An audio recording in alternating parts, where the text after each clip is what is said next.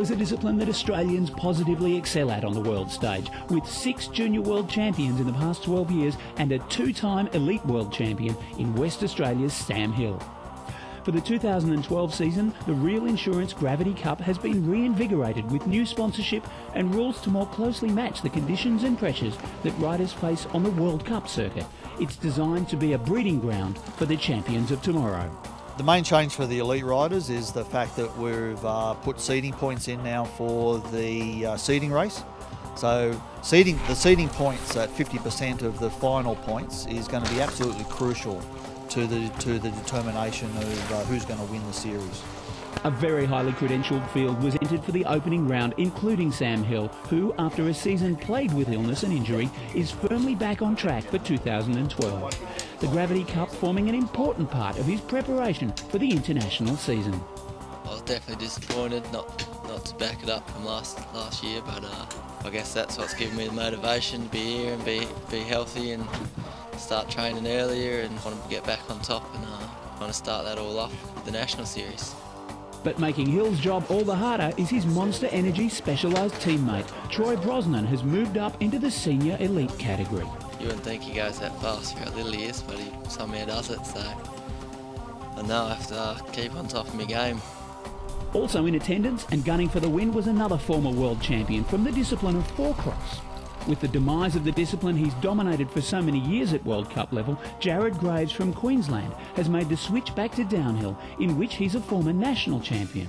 I've been doing a bit of training the last 10 weeks, just trying to get back down to more downhill sides. You know, I was four crosses all about being big and strong and, you know, strong and fast out of the start. Training ready for next year, trying to get uh, get fit and strong for that to do the best I can at the World Cups in downhill next year. Thredbo also hosted the return to competition of former junior downhill world champion Tracey Hannah after a four-year hiatus. The time flew since I've been on a bike. I rode motos and like I just had a bit of fun on my BMX jumping and stuff but to be back on a bike is like I don't know, it just feels natural to me and to have that big break has just made it even more like given me even more drive and determination for the years to come. The legendary Thredbo downhill course is longer than most courses on the World Cup at three and a half kilometres and dropping over 600 vertical metres. It's fast, rocky and gravity fuelled.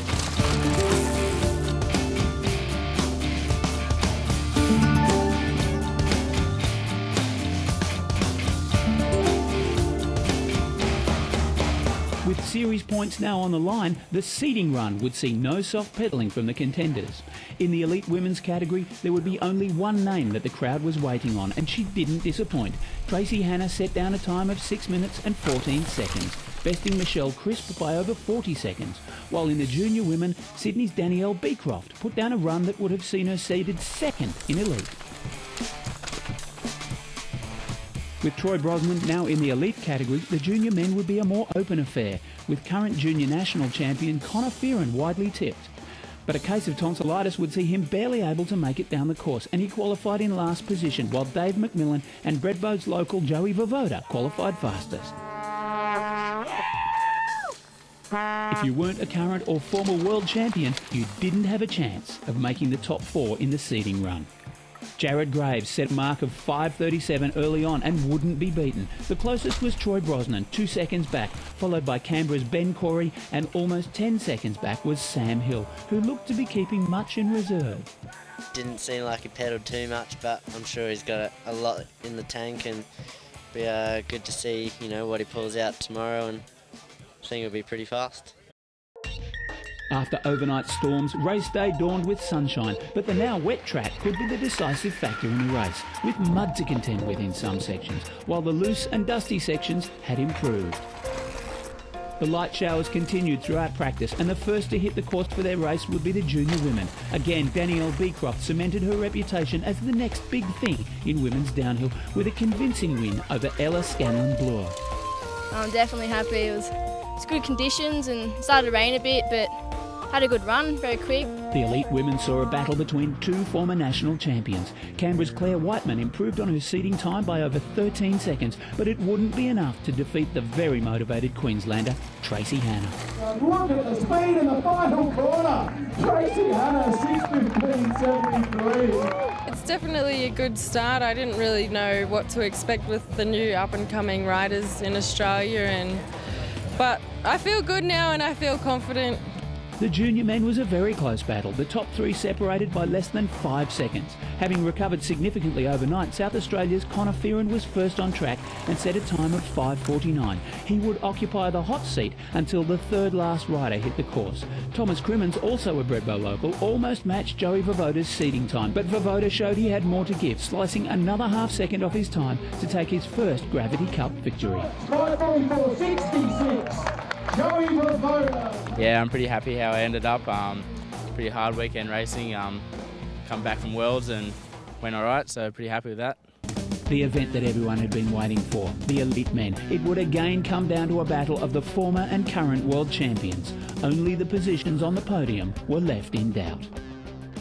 Sam Hill was the first of the big contenders to emerge from the trees at the finish, and if he looked fast, it's because he was, recording a 5.33.87, beating Jared Graves' seeding mark by over five seconds. 2001 junior downhill world champion Ben Cory was next on course, improving on his seeding run by two seconds. The second last rider on course would be Troy Brosnan. He was looking for a dream start to his first season in Elite, and as he flew down the course, the dream would become a reality, eclipsing his teammates' time by over two seconds. And the final rider, hoping to make a successful start in his transition back to downhill, was the fastest seed, Jared Graves. Going to go close. It's going to be a podium. But ladies and gentlemen, Graves.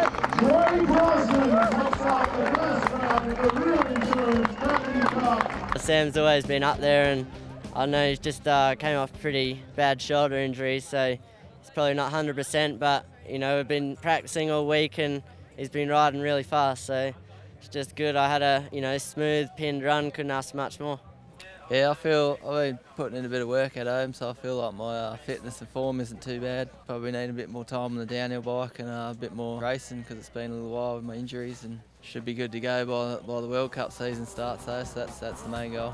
The next round of the Real Insurance National Series moves to the Victorian Alps, where Lycra will meet Body Armour as Mount Buller hosts both the Gravity and All Mountain Cups.